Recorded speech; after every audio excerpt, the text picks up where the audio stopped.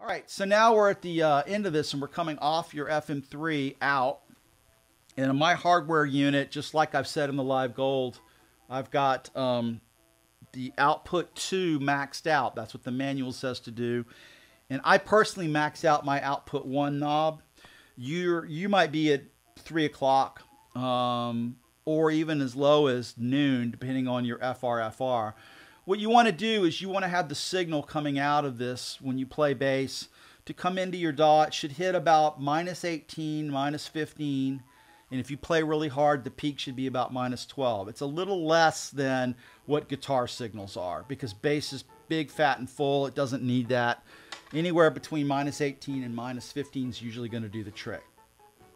So coming off the, the compressor here, whether it's just the bass amp through by itself in mono coming off the compressor signal or whether it's the other one, you're going to have go to two different outs. This one will have a chorus. There's four different kinds of choruses in here. CE2, a, a big stereo, a Dimension 3 that I, we thought sounded good, and a tri-chorus you probably never use, but it's kind of fun. And then there's a GEQ, and I like this five-band passive a lot. It's um, You can get more precise with the 10-band, and you can pick whatever you want. But this is kind of a Pultec, uh, old analog kind of PEQ that's kind of gentle, musical slopes. I really love this uh, this PEQ. A little bit does it. You do not have to do big things here. Um, they're they're on. They're instead of defaulting to off like this, they default on, but there's no setting on them, so you can change it any way you like.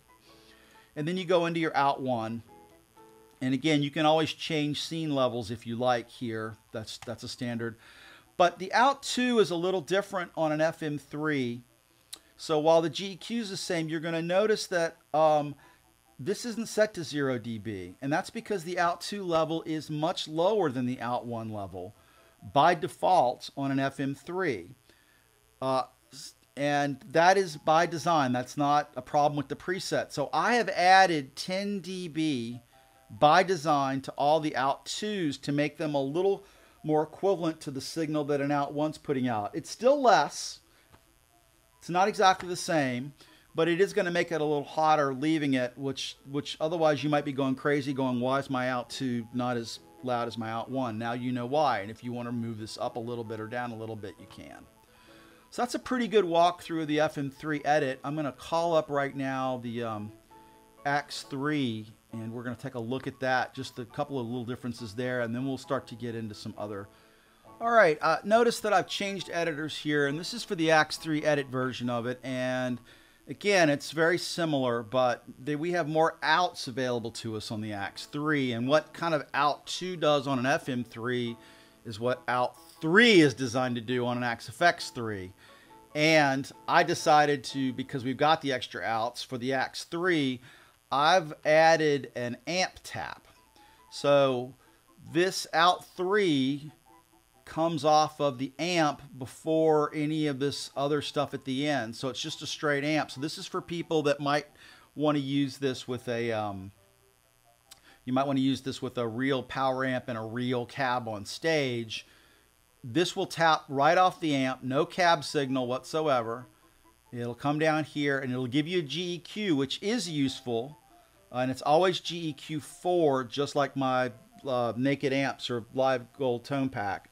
Um, I always use the GEQ4, the last GEQ, with output 3. Um, and you can then tailor this if you need to, you know, cut some highs or boost some lows into the cab. And this goes out to your cab. And so the settings, and this is in the manual that I gave you, um, there's a picture of it. The settings on your Axe-FX 3, sort of my knobs for out 1 and 2 on the Axe-FX 3 are at 3 o'clock, but I maxed out knobs for uh, 3 and 4. So, um, and then out 4 is just an extension of what we did for out 1 and 2. Same thing I'm tapping off of here. Um, you know, on this one, notice out 4 though, I'm using the full GEQ, not the um, the uh, Pultec style GEQ because the out 4 is sort of very similar to the out 3. It's got to be maxed all the way out.